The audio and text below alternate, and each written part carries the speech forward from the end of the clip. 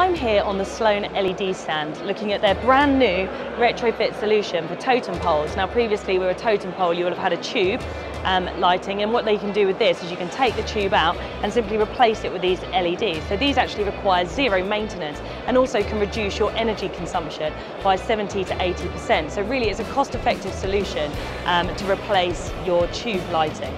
And here we also have Sloan LED's new under canopy lighting solution. And what makes this really great is it actually has the power of two traditional lights. So it means it's cheaper to install and in the long run it's more energy efficient.